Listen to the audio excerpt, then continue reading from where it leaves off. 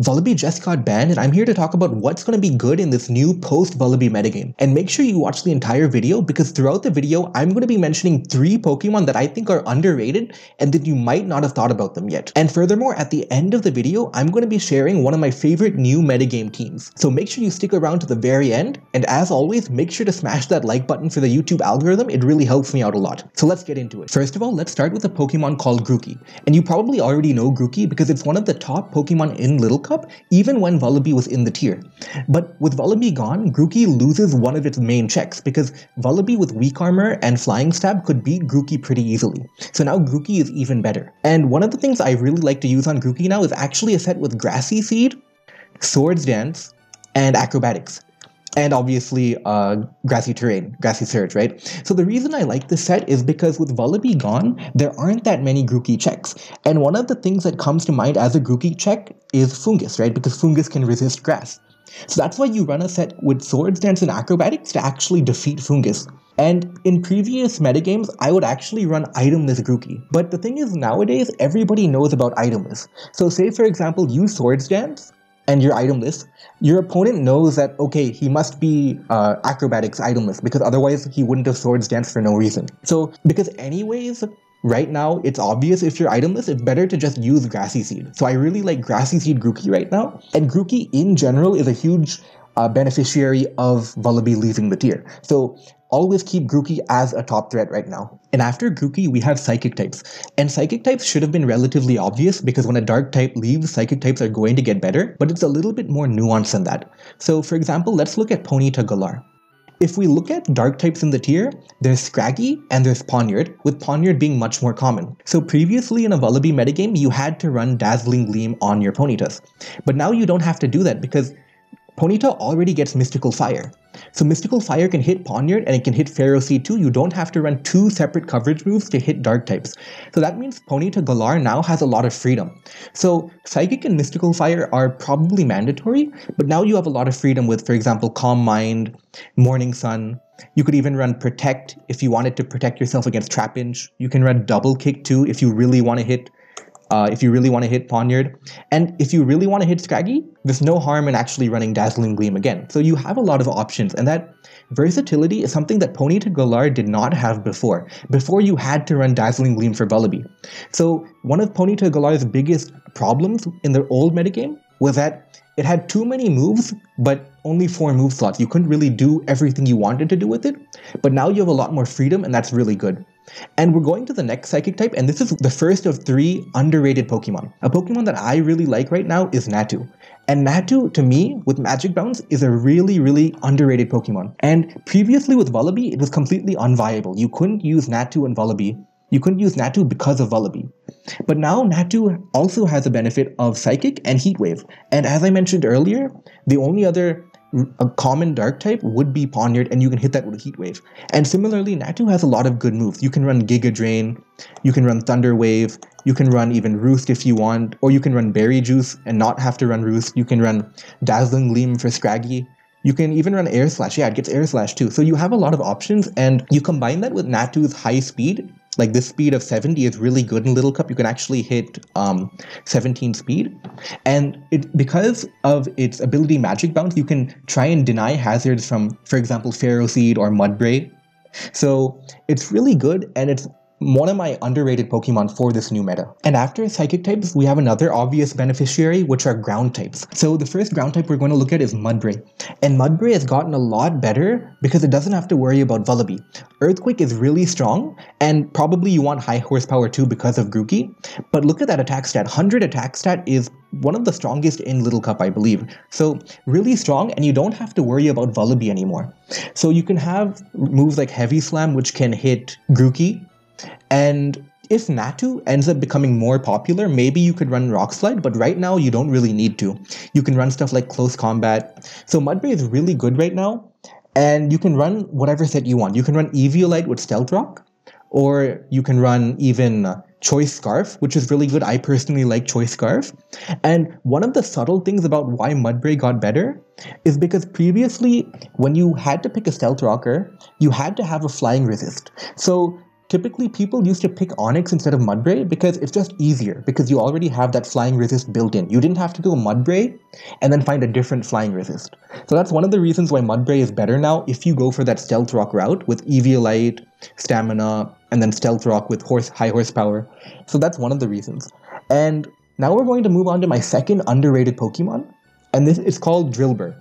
And Drillbur has a reputation for being kind of a bad Pokemon, but I don't think that's true anymore. With Vullaby gone, I actually think Drillbur is really, really good right now. And one of the reasons is because um, with a Berry Juice set, it's actually a pretty threatening sweeper. So Mold Breaker is nice too. But the main thing is that Poison Jab can one-hit KO Grookey, and that is pretty big. So you have a ground type which can actually one-hit KO Grookey. That's going to be really big. And on top of that, Drillbur is a pretty good cleaner. It has stuff like Rapid Spin, for example, which means that if you can rapid spin, you get that speed boost and you can start throwing off earthquakes. For example, you can use a swords dance too. So rapid spin plus swords dance is a really powerful sweeping combination. And we look at a Drillbur's attack stat. It's already pretty good. It's 85, which is really, really decent actually. So it's a very underrated pick. It has its flaws, right?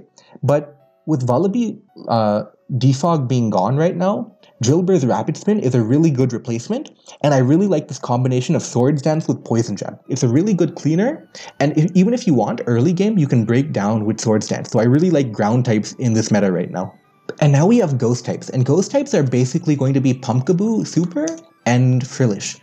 And Frillish and Pumpkaboo Super, they were pretty limited by Vullaby because Vullaby was faster and could use knockoff. It was very tough to use these two Pokemon. Pumpkaboo in particular was completely unviable because of Vullaby. Frillish had some use in a Vullaby metagame because it could burn the Vullaby pretty easily and it was relatively bulky, which meant that it could handle, for example, Scarf Porygon which was really popular at the time. But now that Vullaby is gone, both of these Pokemon are good again.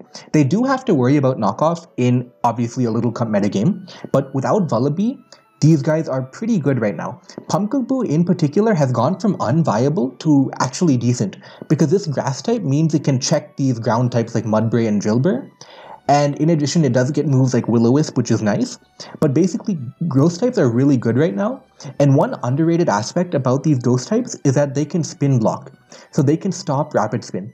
And this is big because with Vullaby gone, Vullaby was actually the main defogger. So now you, people are going to be turning to rapid spin instead. So they might use rapid spin Drillbur, they might use rapid spin Staryu, so ghost types are really good right now to actually block rapid spin. And the discussion of spin blockers actually leads me to the next section, which are hazard stackers. So for example, Dewpider is going to be really good right now because of its ability to stack sticky web. Because you can use Dewpider with a spin blocker to keep your sticky webs up. Previously, it was kind of tough to keep the webs up with Vullaby in the tier.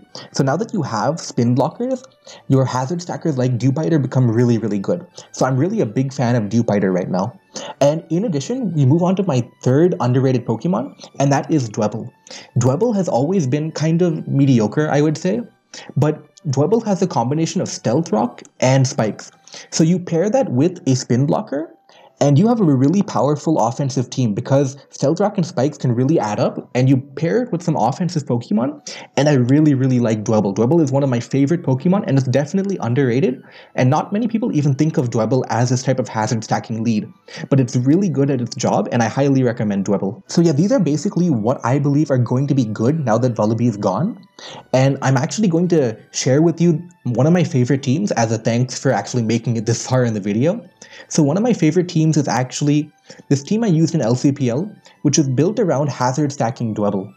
So if we go, we have Grookey, right? So Grookey is a set with Grassy Seed Acrobatics, which I mentioned earlier, and it's a really nice offensive threat. Then we have Berry Juice Ponyta.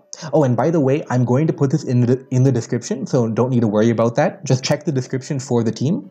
But yeah, we have Ponyta here with the Berry Juice set, and this is actually a very offensive set with the idea being to uh, spam Flare Blitz with coverage moves, get Flame Charge up. It's really powerful. And then we have Scraggy. And Scraggy is basically your standard Dragon Dance set, but I really like Protect on Scraggy because it can help you versus trap Trapinch First Impression, it can help you versus Fake Out.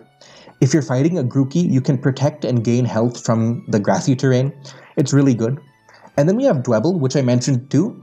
And I really like this Eviolite weak armor set, but you don't have to run it. You can run something like Berry Juice 2 with Sturdy. That is also an option. I just like weak armor.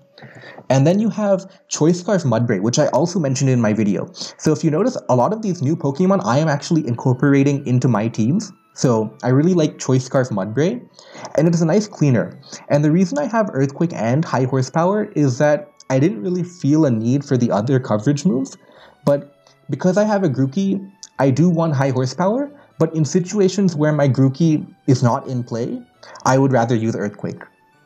And then we move on to the star of the show, which is Life Orb Staryu. And I really like this Bolt Beam combination to hit different spin blockers who might try to block you with Rapid Spin, for example, right? So these are all very strong Hydro Pump, Ice Beam, Thunderbolt, they're very strong attacks. And you add a Life Orb, Life Orb analytic, and it becomes a really nice wall breaker on a hyper offensive team. And yeah, that's basically one of my favorite new meta teams. And I'm going to put uh, all these set descriptions in the description below. So you don't need to worry about making the sets. I'll give you the EVs and everything. And yeah, that's basically what I think is going to be good in the new metagame. Uh, comment down below what you think would be good in this new metagame. I would love to hear your thoughts. But yeah, thank you.